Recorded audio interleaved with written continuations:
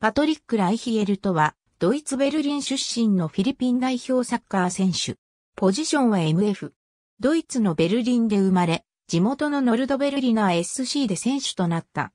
2010年1月にフュヒセベルリン・ライニッケンドルフに移籍し、2月20日のマルヒョワ SC 戦で初出場。この試合の55分に選手初得点を決めた。2010から11シーズンはエネルギーコットブスのセカンドチームに移籍し、8月8日のレギオナルリーガ ZFC モイゼルビッツ戦で初出場。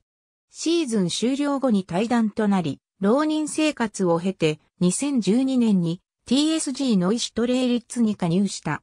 3月3日の SV ゲルマニア90シェーンアイヒエ戦で初出場となったが、出場はこの一戦のみとなった。その後フィリピンに渡り、2011から12シーズン中にグローバル FC に加入。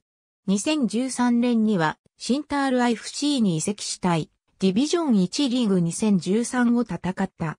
2014年2月15日にセレスネグロス FC に加入し、フィリピンに復帰した。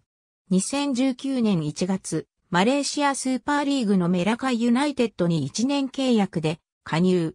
2012年9月5日のカンボジア代表戦でフィリピン代表として初出場。この試合は0から0で終わった。しかしこの試合はカンボジア代表側が7人の交代枠を使ったため、FIFA 公式の国際 A マッチにはならなかった。FIFA 公式試合での初出場となったのはその2日後のシンガポール代表戦となった。代表初得点は同月25日のフィリピンピースカップ2012グアム代表戦であった。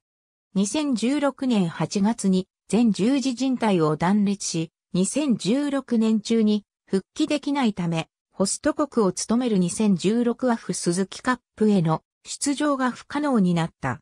なお、同じ8月には同じく代表であるシモーネ・ロータも同じく全十字靭帯を断裂し2016アフ鈴木カップへの出場が不可能になっている。代表での得点一覧。ありがとうございます。